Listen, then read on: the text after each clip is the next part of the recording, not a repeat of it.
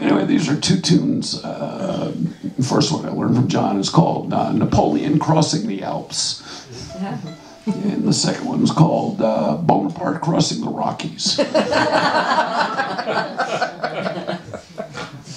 There's also Bonaparte crossing the Rhine. I'm not sure how that one goes. And there's uh, Bonaparte's Retreat. The Irish like to write song, write tunes about uh, naming them after Napoleon Bonaparte because he kicked the shit out of the British.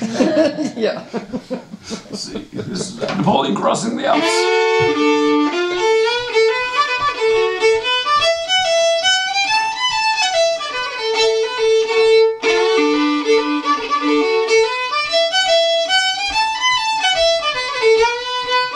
Música